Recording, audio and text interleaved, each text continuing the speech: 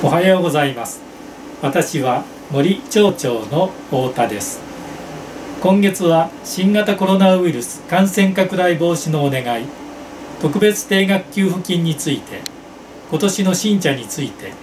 森町アットホームプロジェクトについてお知らせします。町民の皆様には新型コロナウイルス感染拡大防止にご理解とご協力をいただいておりますことに心から感謝申し上げます。4月下旬からゴールデンウィークを迎えていますが全国への緊急事態宣言が発令されている中引き続き不要不急の移動は自粛し可能な限り外出や帰省を控えて人との接触を避けていただきますようお願いします。なお森町の対応については改定の都度町のホームページなどでお知らせしていきますのでご確認ください。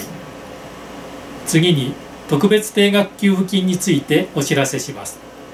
国の2020年度補正予算が成立したことを受け感染拡大防止に留意しつつ迅速かつ的確に家計への支援を行うため1人10万円を給付する特別定額給付金事業を実施します。給付対象者は基準日である令和2年4月27日に住民基本台帳に記録されている町民で世帯主が申請者となります。申請につきましては感染拡大防止の観点から基本的に郵送及びオンライン申請となり給付は申請者の本人名義の口座への振込となります。森町では今月29日の支給開始を目指し現在事務作業を進めています。今月20日頃に申請書類を郵送しますので申請書に必要事項を記入の上必要書類等を添えて返送してください。まずは書類がお手元に届くまでお待ちいただきますようお願いします。また特別定額給付金を悪用した特殊詐欺も発生していますので十分に気をつけていただき不審な電話等があった場合には役場や警察署に連絡してくださるようお願いします。なお本日付で説明文書を回覧しますのでご覧ください。次に今年の森の新茶についてです。4月21日に遠州森の茶初取引が行われ今年の新茶シーズンがスタートしました。今年は新型コロナウイルスの感染拡大により例年と違う新茶シーズンとなっていますがいつも通りの美味しい新茶が生産されています。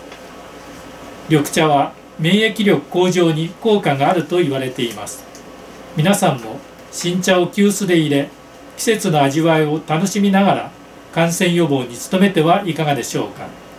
またお知り合いなどへの季節のご挨拶としてもぜひお使いください。最後に森町商工会では森町アットホームプロジェクトとしてテイクアウトや宅配を実施している町内の飲食店を紹介しています。詳しくは商工会ホームページやチラシをご覧ください。外出自粛や飲食店の休業で外食の機会が減っている中ご家庭で利用してみてはいかがでしょうか。風香る爽やかな季節になりましたが今年はできる限りご自宅で過ごしていただきますよう重ねてお願いします。我慢の日々が続きますがみんなで心を一つにしてこの危機を乗り越えましょう。